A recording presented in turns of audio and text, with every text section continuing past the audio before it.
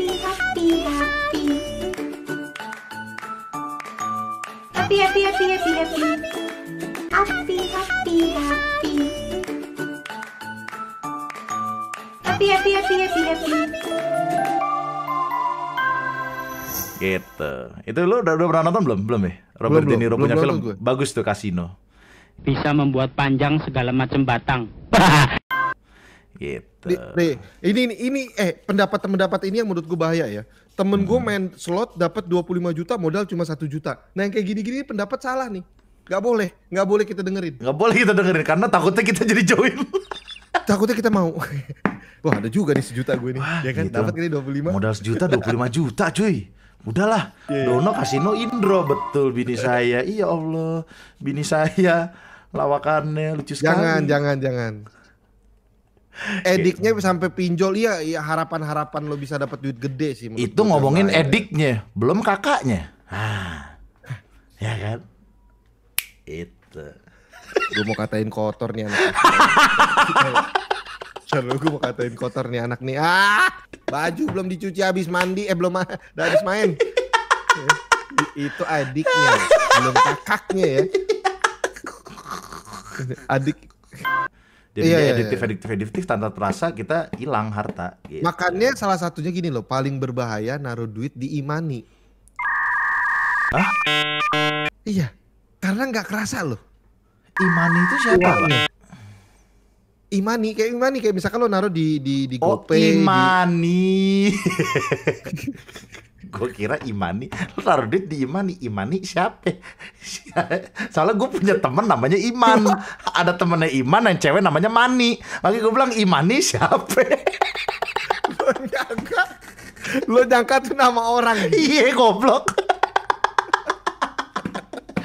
gue punya teman namanya Iman dan cewek namanya Mani. Imani siapa?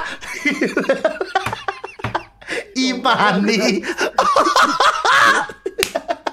Asli lo tuh pikir gitu Imani itu siapa Imani gue tahu Goblok.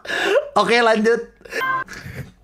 sama kayak beli martabak bro menurut gue marta eh, sih, ter- terlepas martabak sekarang tuh overkill nggak sih menurut gue Overkill itu gimana? Coba dijelaskan.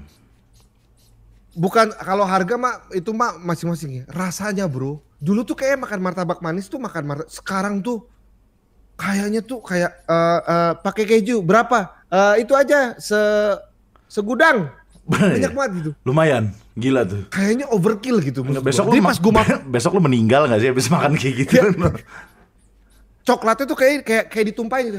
Iya, gitu, tapi kayak- tapi tapi gue setuju sama Kang Dani ya. Mohon maaf ya, tukang martabak mungkin teman-teman ada yang nonton ada yang tukang martabak. Mar- Tukang martabak zaman sekarang tuh aneh-aneh gitu loh. Soalnya waktu itu gue inget banget pengen mesen gitu kan. Mas saya mau pesen martabak coklat, keju sama Nah. kacang. Tapi kok malah ujung-ujungnya pas pada saat gue mesen bukan dimasak malah gue udah tanya balik. Jadi Mas Gemma ini by the way umurnya berapa? Kerjanya di mana? Aneh. Ternyata bukan martabak, itu martawan. Nah,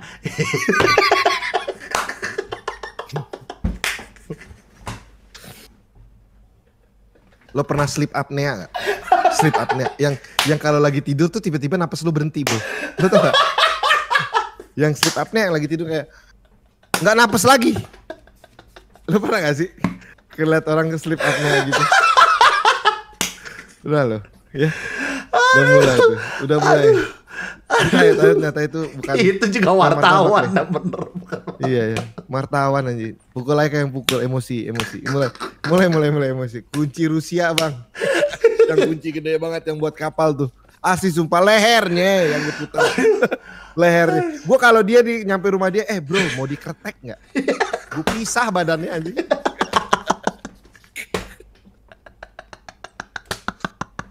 Eh tapi lu